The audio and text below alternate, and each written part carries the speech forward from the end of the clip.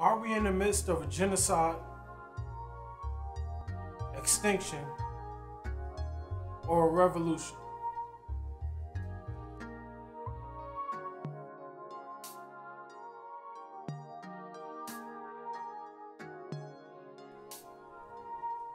Periodically, we are decades, centuries away from the plantation, from the Million Man March, Black Wall Street, Birmingham, the assassination of Dr. Martin Luther King, Malcolm X. But every other month, we're reminded of how relevant racism is. Every other month, we're faced with a dark truth that black men and women are not safe in America.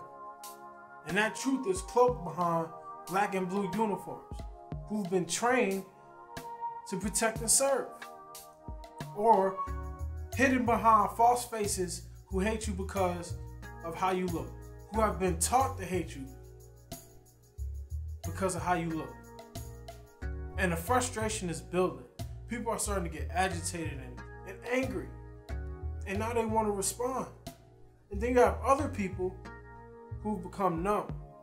Seeing all the death so much is made them numb. I had to catch myself. When I first heard about Sandra Bland, I saw her face on TV and I heard them talking, and I just picked up my phone and started scrolling through Facebook like it was a regular day. And I had to catch myself. I'm about to get married soon. And then I have kids. What how do I respond when my son or my daughter comes home and they tell me somebody called them out of their name. Or my wife is out and she experiences injustice of some kind. Like, do I just brush it off? Well, this is how it's always been. Or do I retaliate? Do I go to the school? Do I go after the parents? Do I find that person? Do I go looking for that person?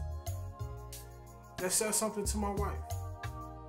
We cannot get over this cultural rift. We've sent people to the moon and back, discovered gravity, discovered light, took pictures of Pluto. But when it comes to the basic humanity, we fail every time. What will this point in time be remembered for? Extinction, genocide, revolution, or evolution? Will we evolve? The universe is calling for us to evolve. To get past face value, cultural differences. How will we respond?